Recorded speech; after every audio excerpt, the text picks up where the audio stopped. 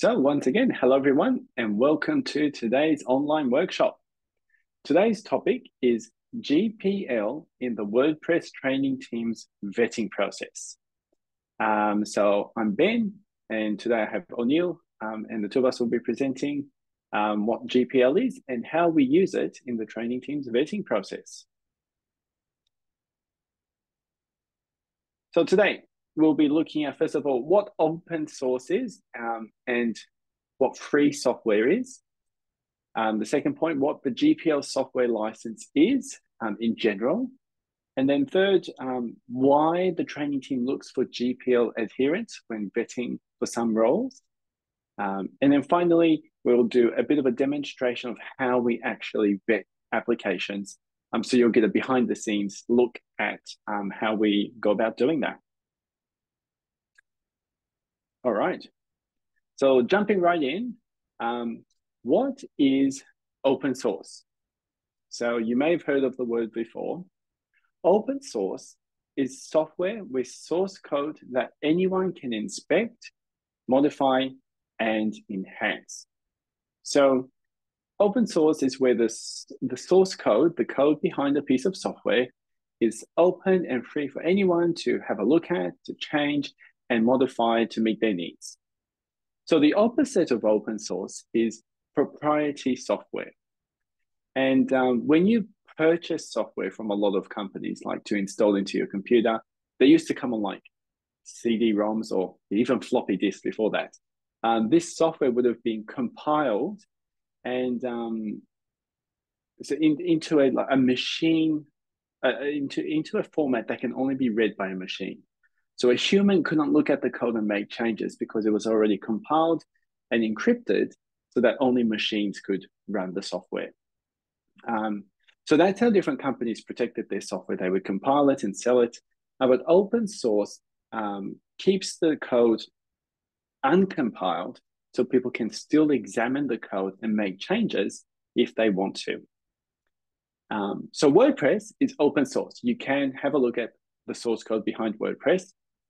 And it's also free software. So I also want to take a moment to consider what free software is. When we, when we talk about free software, especially in open source, um, we are talking about freedom and not necessarily price. So as it says here, the term free in free open source software refers to freedom, not monetary cost. So in a sense, you could have open source you purchase, which is still free because it's it, it provides freedom to the user. Um, WordPress is free in both price and it provides freedom. Um, but today, in a couple of our slides, we'll be talking about free software and the freedoms of software. Um, so I just want everyone to keep in mind, we're not talking about price when we talk about free, we're talking about freedoms.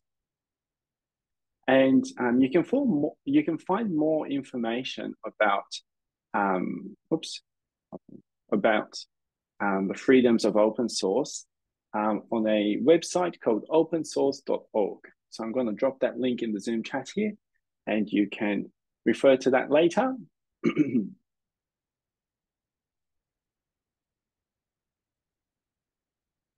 All right. Um, so that is the definition of free software. So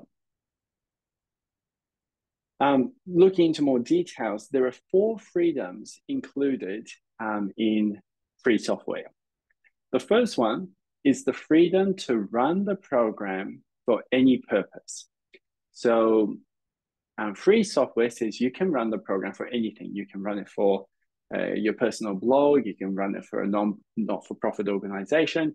You can run it for a for-profit organization, you can run it for a business, um, you can run it for any purpose. The second freedom is the freedom to study how the program works and change it to make it do what you wish. So again, this is opposite to proprietary software, which has already um, compiled the software and encrypted it. So you can't really study it or change it. Free software gives you the freedom to study and change it. So when we provide free software to other people, they can change it to match their needs.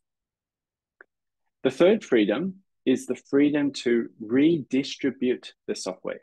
So they can then share that software with uh, their friends. Um, they can even make modifications and then share those modified versions with other people, which is the fourth freedom. The freedom to distribute copies of your modified versions to other people. So the four freedoms are the freedom to run the program, the freedom to change the program, the freedom to redistribute the program, and finally, the, oops, the freedom to distribute copies of your modified versions to other people. And we'll be looking at these four freedoms um, um, in more detail, or specifically to the WordPress project in further slides here. Um, and again, I have another link here um, for more information about free software and open source. Um, you can have a look at um, the GNU um, license website, and they give a bit more information about the freedoms provided in free software. Um, so let me just pause there quickly. Are there any questions so far? We've been talking about very general concepts of open source and freedom. We'll dive into WordPress specific things next. Are there, are there anything, any questions or anything you want clarified?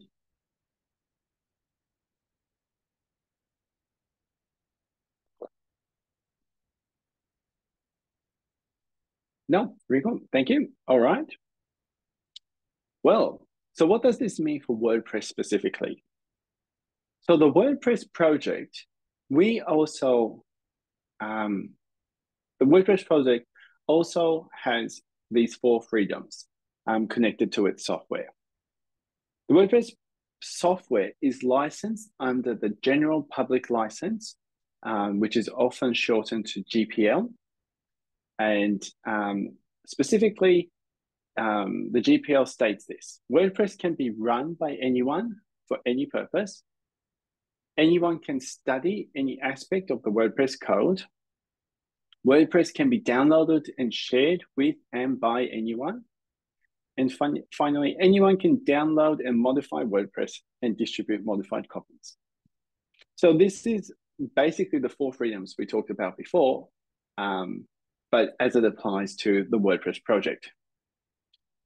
Now, um, the GP, uh, sorry, the GPL license, the general public license, states that any software, so any modified software or any derivative software of a GPL license software must also carry the GPL license.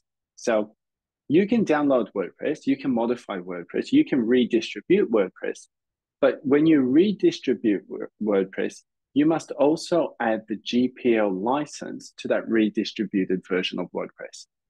That is um, the only, in my mind, the only requirement that comes with the GPL license. The requirement to add the GPL license to any modified versions of the original software.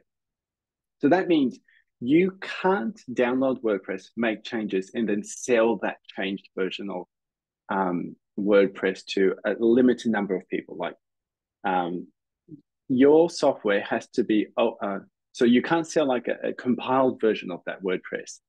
Your software, your modified version, also has to be um, available for anybody to run. It also has to be um, studyable by anybody. Um, it needs to be able to be redistributed by other people. Um, so the GPL license um, talks about the modified versions of WordPress, but it also talks about the derivative works. So anything that needs WordPress to run must also carry the GPL license. So if you have extra code that sort of connects to WordPress, and these extra pieces of code need WordPress in order to run, then these extra pieces of code should also carry the GPL license, which is the freedom to run it for any purpose, study it, um, download it, and share it, and share modified versions. In for WordPress specifically, these derivative works, these extra add-ons, are called plugins and themes.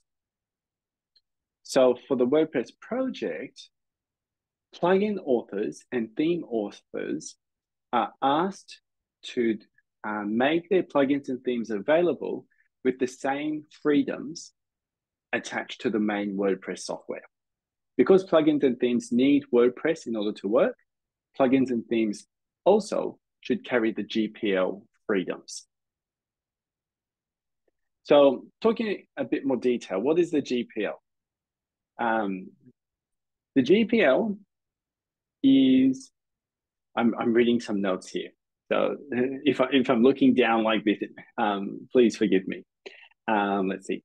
So the GPL license was originally written in 1989 uh, by the Free Software Foundation, and it is the founding license for open source software. Um, so the GPL was created so that um, rather than restricting distribution, um, it allows people to distribute their code um, mm, so let me, let me rephrase that. GPL was set to make it um, so that source code would be distributed more, it would be shared more amongst people and improved more.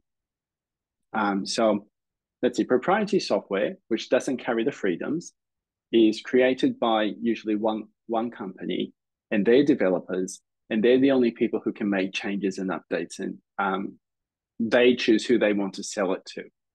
GPL takes a totally different approach and says, um, let's all share our software, let's all make it better together. And it was the one of the founding philosophies um, of the open source concepts in the world. So the GPL states if you take a piece of software that's licensed under GPL and create a derivative work of it, that derivative work must also be licensed with GPL. Um, this is important because if you don't honor the GPL, the license to use the source program will terminate and it would breach the terms of usage. So if you were to create a derivative work that isn't licensed with GPL, then you'd actually be breaking the terms and conditions you signed up to when using the original GPL license. And this means um, people are free to fork license uh, software. So when you fork software, you take a copy of something and you make modifications. So the main software keeps on developing um, and gets updates and you make and you sort of branch off from that. And so you can add your own updates and your own features to this forked piece of software. And the gpl actually protects this because um, people are allowed to make modifications and then share their modifications. Um, so gpl makes forking software um, possible as long as the forked software also carries the gpl license. Um, a copy of the GPL license is actually included with every WordPress installation. Um, you may not have ever looked in the source code to find the license before, um, but we also have the text. You can also have a look at the text of the GPL license at this link I've just added to the Zoom chat. All right, so that, that, that's a little background and technical information about the GPL. Um, any questions so far? Hopefully I haven't made it too confusing here. Rico, okay. What does the whole licensing issue look like in terms of teaching? Is there anything to consider? How does it look when a school pays me to produce teaching materials? Can I also mention the school as a sponsor in videos and documentation, etc.? Okay, that's a good point because we talk about um, paid paid features and the GPL license in a few more slides. So let me hold that question for just a few more slides and we'll get to that. Um, GPL, a, a quick answer is GPL doesn't prohibit selling things. Like you can make money off GPL licensed software, um, but there are some things to take in consideration. So we'll get to that question in just a moment. Uh, but thank you for asking that. All right, so WordPress is licensed under GPL, which protects four freedoms. Um, and we talked about how derivative works must also carry the GPL license and carry the same four freedoms. So now we're going to narrow in further and look at plugins and themes. So WordPress has plugins and themes. What, how does GPL apply to plugins and themes? So again, we have four freedoms. Number one, a plugin or theme can be used by anyone for any purpose. So if, if somebody is distributing a plugin and saying, this can only be used by schools, then they're actually restricting this first freedom here. Um, the GPL says plugins and themes can be used by anyone. So um, we can't, they shouldn't restrict who is allowed to use it. The second freedom, anyone can study any aspect of the plugin, theme, and code. So um, plugins and themes aren't compiled when they're distributed. The source code is open and anybody can study them. Thirdly, a plugin or theme can be downloaded and shared with and by anyone. So technically, you could ask a fee to distribute a plugin to somebody, but you can't restrict that person from distributing it further. So a plugin or theme you distribute can then be downloaded and shared with anyone. So you can't restrict how that is redistributed beyond that person you gave it to. And number four, anyone can download and modify the plugin theme and distribute modified copies. Um, again, so plugins and themes, um, anybody can take that, modify the code, and then share that modified version with other people as well. So these are the four freedoms as they apply to plugins and themes. But in the WordPress ecosystem, you will see there are paid plugins and themes. So this is um, this is why the free software, the free and free software, is referring to freedoms and not price because you can have paid for free software. Um, so let's have a look at this. Play, paid plugins and themes can also be GPL compliant if they don't conflict with the four freedoms. So the important thing is that the, the money that is exchanged isn't restricting the four freedoms we talked about before. So for example, um, some plugins offer um, support as part of a subscription. So once you download the plugin, um, there's an option for you to pay for a year of support. This is this is GPL compliant because they're not the plugin itself isn't restricted. You can look at the plugin, you can study the plugin, you can redistribute the plugin. What you are paying for is for the customer service people who are going to respond to your questions. So your payment has nothing to do with the freedoms of the software. It is for the subscription with that company who are going to be supporting you over the next year. So that sort of setup is GPL compliant. However, sometimes when you do a Google search um, you may find plugins or themes that say this can only be used on X number of sites. And this is not GPL compliant because one of the freedoms of GPL is for you to redistribute the code. And so you should have the freedom to install the code on other sites or other uh, any number of sites. So if they are restricting the number of sites it can be used on, then that is not GPL compliant.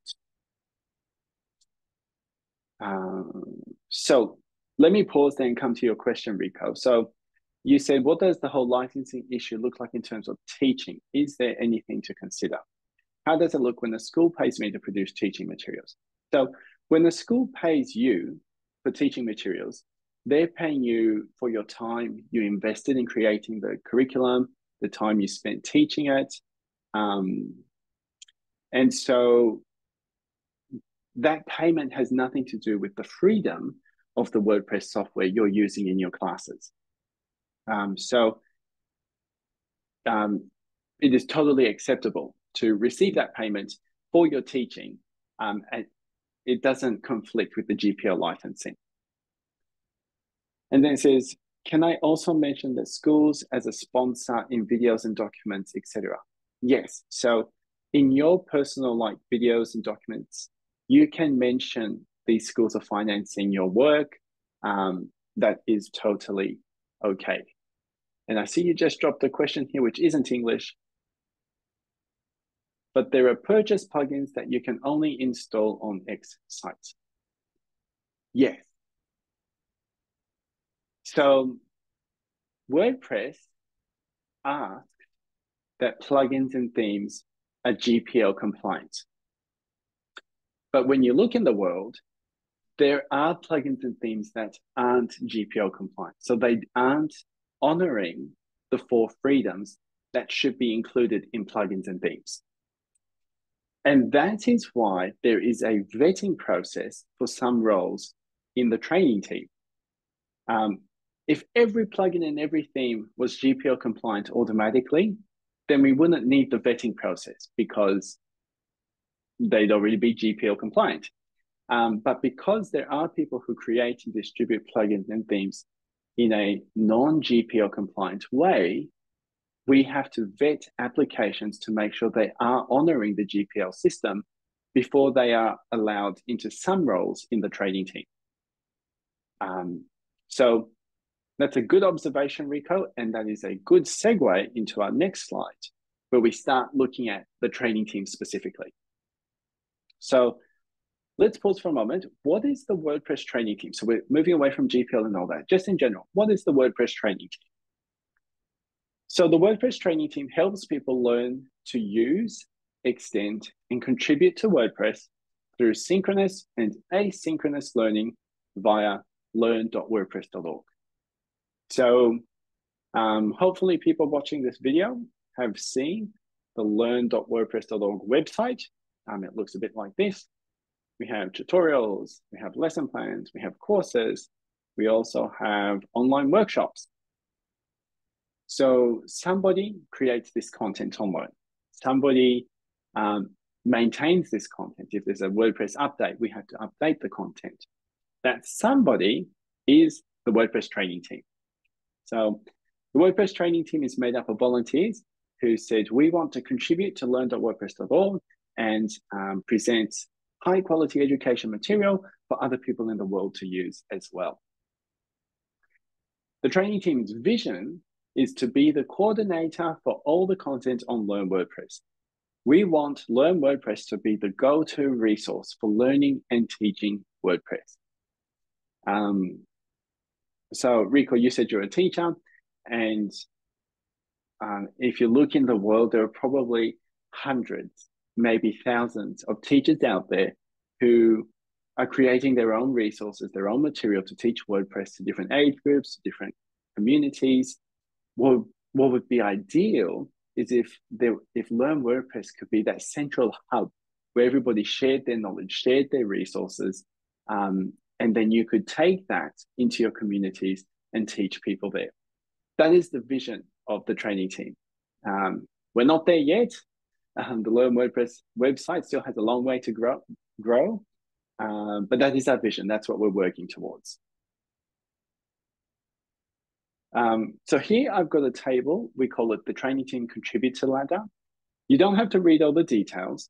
Um, but what, what I wanted to point out is at the top here, we have some areas of contribution. So the training team has content creators, we have editors, we have subject matter experts, and we have administrators. Um, so content creators are the people who make content, but we also have editors who review content before it is published or edit published content um, when an update needs to be made. We also have subject matter experts who are experts of the different content topics who assist content creators as they make content. And then we also have administrators who look after a lot of the tasks behind the scene that keep the website and the team running. Um, and then you'll see down the left here, we have a, a progression so of, um, of contribution. So when people first join the team, they're in the connecting stage. And as they contribute more to the team, they move to the engaging stage, and then the performing stage, and then the leading stage.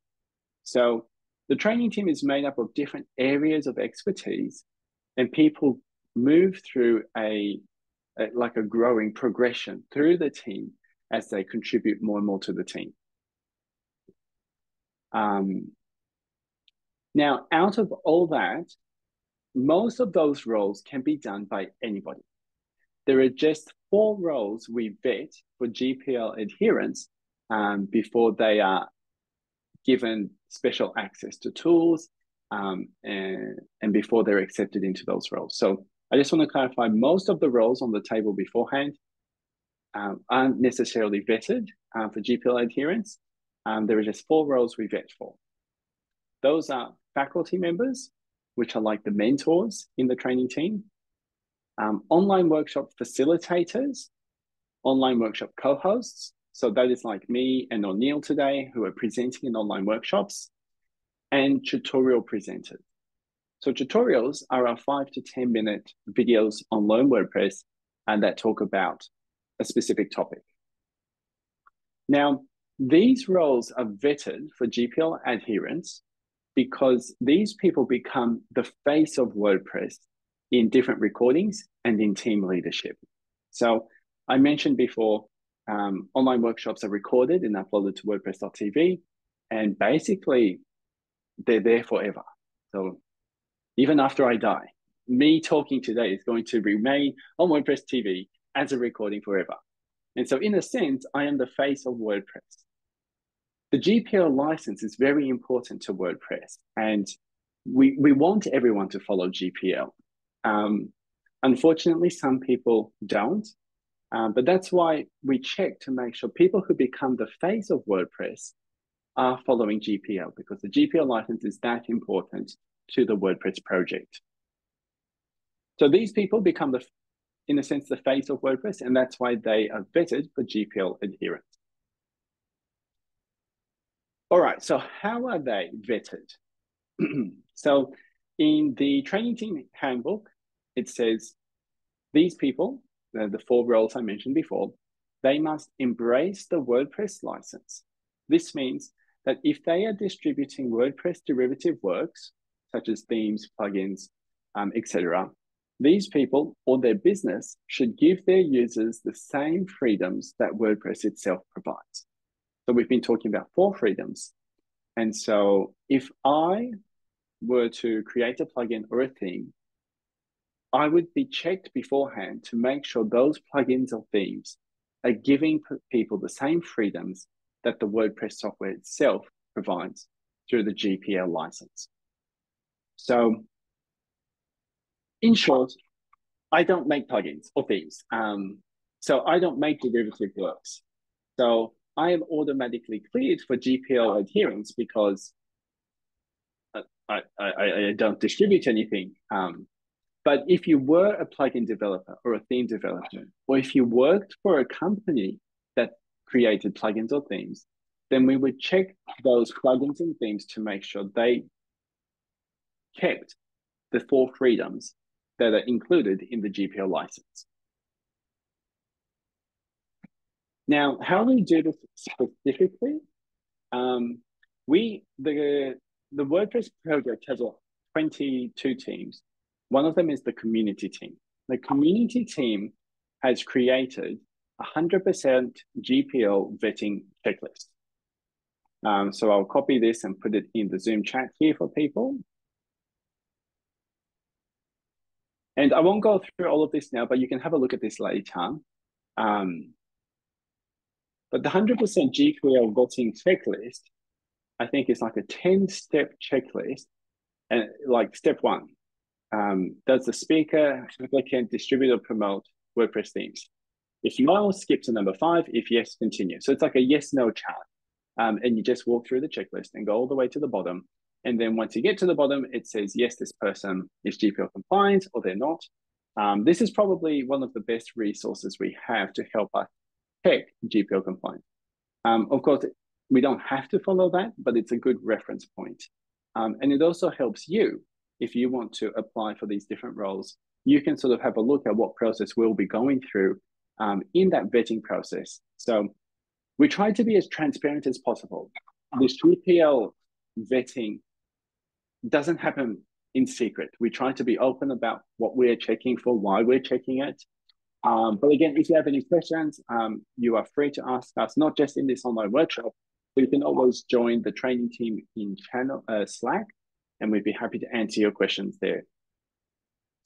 And one other thing I wanted to note is if somebody applies to become, say, an online workshop presenter, and we notice their plugin or theme isn't GPL compliant, we, we um, would like to offer guidance on helping that person make their plugin or theme GPL compliant.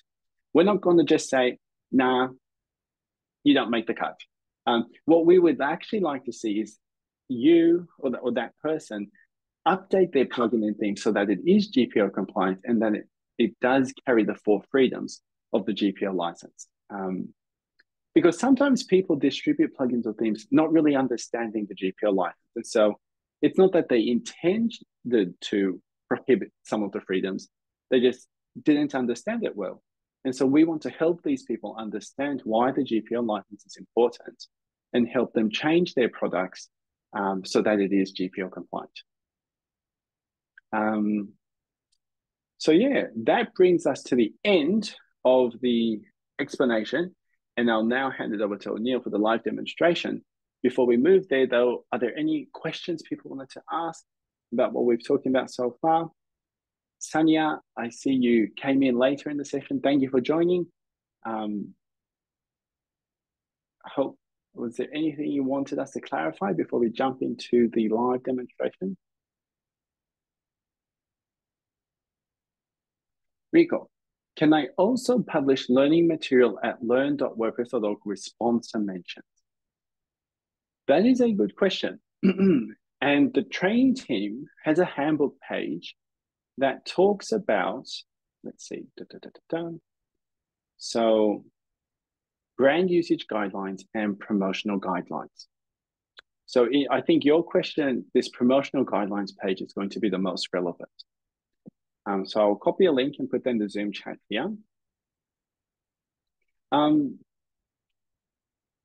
so the quick answer is, um, in most of our resources, we do allow the content creator to do a um, a little bit of self promotion. So you can mention your name, um, your social accounts, um, but the focus of the content is to be the content. And the WordPress project is made up of a lot of, um, I don't know. Uh, let me stop that thought. Um, so we want the focus of the content to be the content, and we want to promote WordPress and the WordPress brand as much as possible.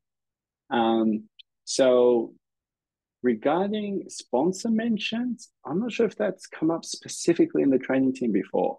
Um, have a look at this guide it might be something um, you could ask the training team and we could all consider together to see if it's appropriate or not. Um,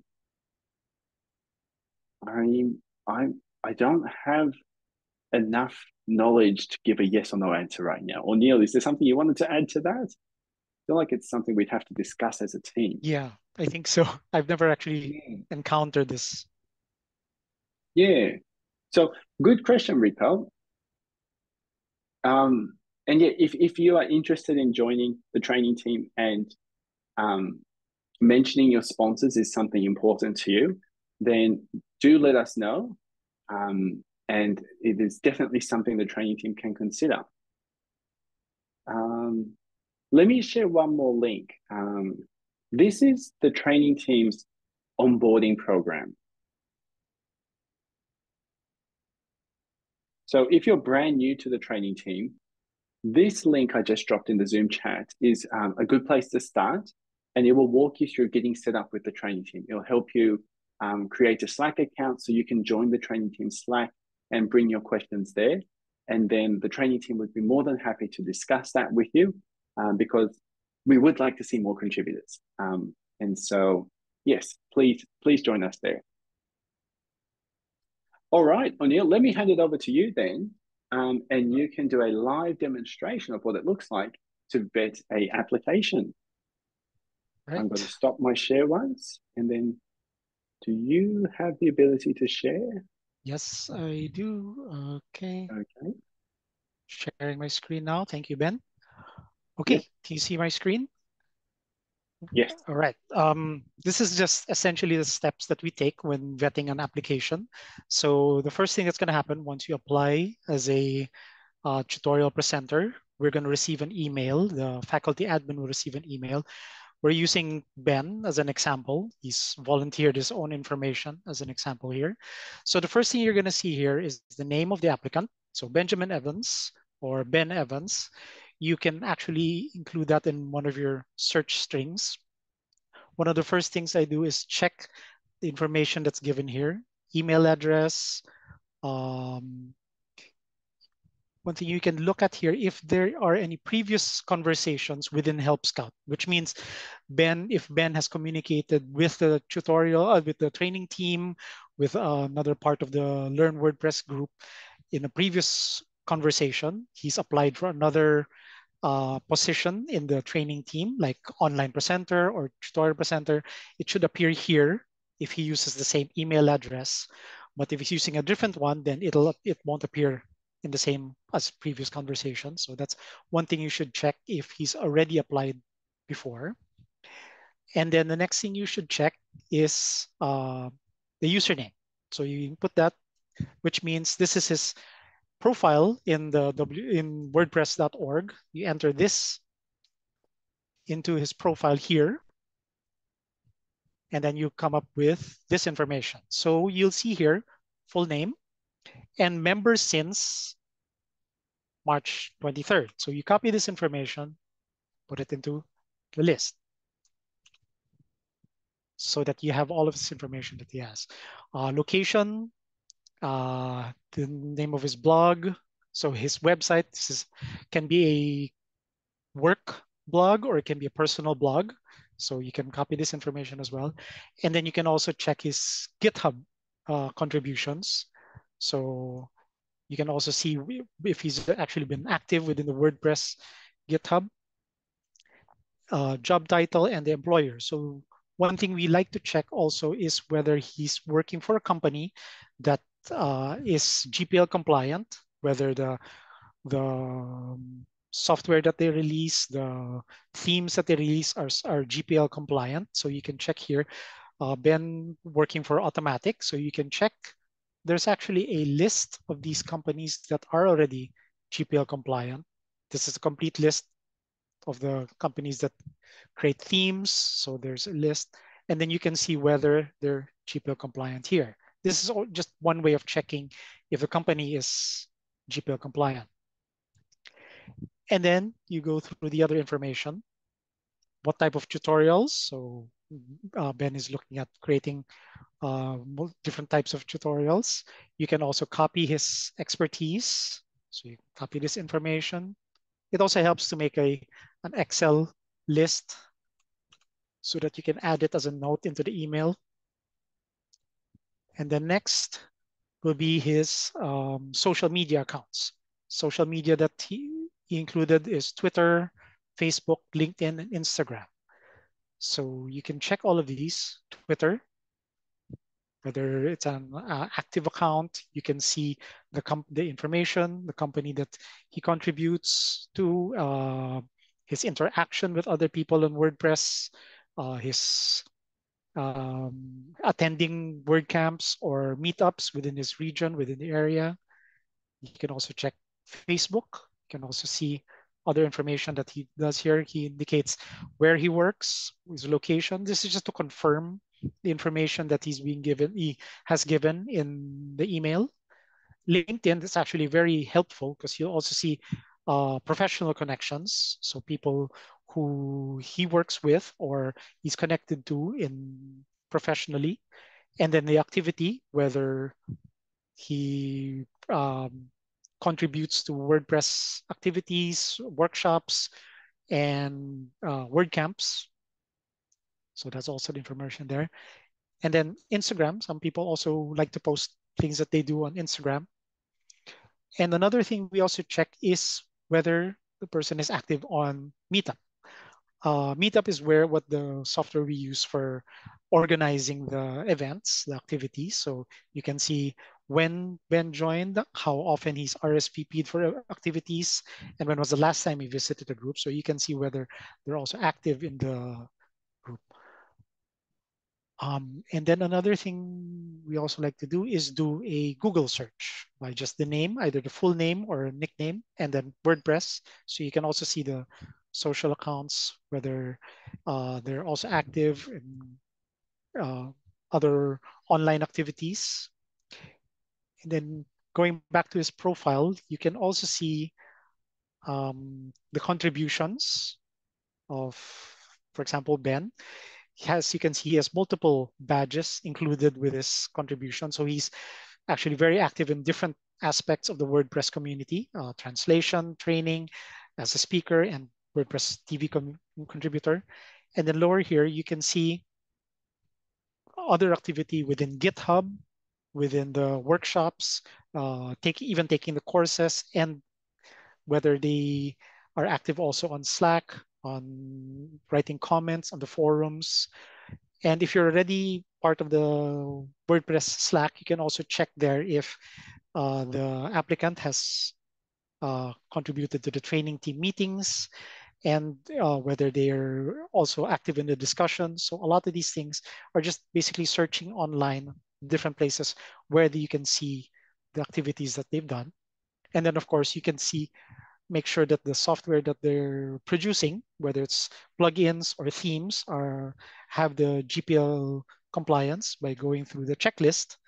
Then you can determine whether uh, they should be approved or if there are any red flags that we should watch out for or uh, recommend that they can adjust their their GPL license to be able to be compliant for the WordPress um, GPL so that they can become part of the WordPress training team. And after that, we'll reply to Ben and then select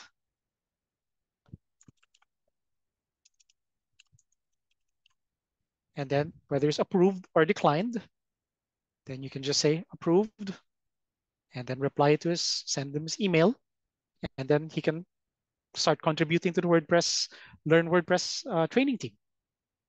That's all. Thank you very much, O'Neill. Um, does anybody have any questions about that process? Any questions? Um, anything you'd like O'Neill to show again?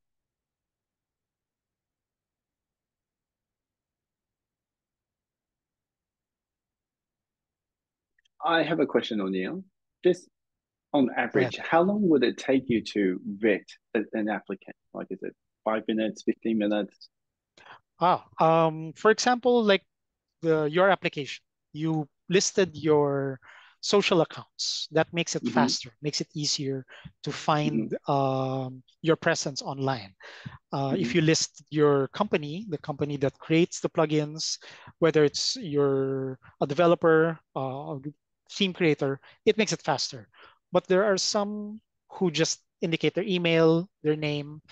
If they don't have that much information, or if they use different names, uh, different from their profile, it makes it a little harder. So it might take maybe a couple of hours to look through and confirm if this person who applied is actually the same person on LinkedIn, same person in the company. So maybe uh, one or two hours to go through mm-hmm. an application, mm, possibly longer if they have limited information. But what we do if they don't have enough information is we send them a follow-up email asking if they can uh, indicate their contribution to WordPress specific and specify what they've done in the WordPress mm-hmm. space. Okay, thank you. Um, Rico also asked a question. Um, how many people will be bled off? So I, I presume you mean like will be declined as a as a, a result of this. Do you want to answer that, O'Neill? Yeah. Um actually we've it's very rare that there's going to be a big red flag. Um some people there are spam applications, which is Hmm. essentially uh, just a bot maybe trying to apply, trying to fill in the form. So that one, we check it. If they don't respond, I usually send them a follow-up email to get more information. If they don't respond within a week, I mark that as spam. But if there's an application that has certain information that's not consistent, uh, meaning their name is different from their profile on other social accounts or even LinkedIn, or if it's uh, on a, if they have a, their company account or company website is not compliant, then that is already a red flag. Or if they don't have a lot of contribution in the WordPress space, we might ask for more information. If they're not able to give much more information, it might be a yellow flag, as in not that big a difference, but um, maybe one or two out of 10 or 20 is Mm. average, maybe 5 to 10%. Because a lot of people who do apply are already working in the WordPress space. They just want to be able to contribute more. So Yeah. uh, it's it's it's not a big uh, number of people are declined. Yep. And just to add to that, I've also been vetting applicants for almost a year. In the whole year, I'd say I've had two people who weren't GPL compliant, at least on my first check. Um, and so I wrote to them and said, Hey, I don't think you're GPL compliant. And um, one of the person actually clarified that they are. It was some wording in their website that was a bit confusing. So after that clarification, they were okay. The second person, they confirmed they weren't, um, but they were willing to change the licensing on their plugins so that it became GPL compliant so that they could contribute. Um, so as O'Neill said, there's a there's a lot of spam. So um, aside from the spam, out the real applicants in a year, I've had two people who I've noticed who aren't GPL compliant, but through conversations, they've both been um, able to update their licensing and get approved. So it's yeah, I, I agree. It's very rare that somebody is just declined and like not allowed. Um, Rico, does that does that answer your question? Does that give you enough information?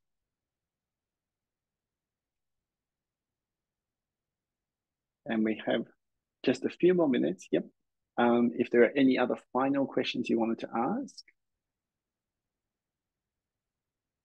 I'm going to share my screen one more time.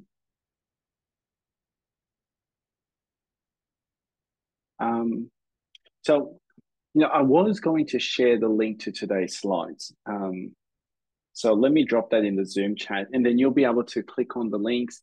Um, the slides also have um, presenter notes, um, so you'll be able to read a lot more what we've been talking about. There are extra links in the presenter notes. Um, so let me drop that in the Zoom chat. Again, you're free to, um, in a sense, like download, create a copy of this resources to look at later. And then the final slide has um, additional resources that sort of back up a lot of what we've been talking about today. Um, I think personally, the GPL license was all confusing when I started contributing to WordPress as well. Um, especially when when I, I realized that you can have paid for products that are still GPL compliant. Um, the concept of free software, paid software that is still free, as in it has freedom. Um, that was a bit confusing to me. Even now, sometimes when I'm vetting someone, um, if I come across a confusing situation, I will ask other administrators in the training team um, to get a second opinion um, because it is a, it is a bit confusing. Um, but hopefully today, after this presentation, you've been able to understand GPL a bit better, and you've been able to understand how GPL is used in the training team, how we check for GPL adherence. And more than anything, I hope you have been, you are interested in joining the training team and help us create content for the Learn WordPress website.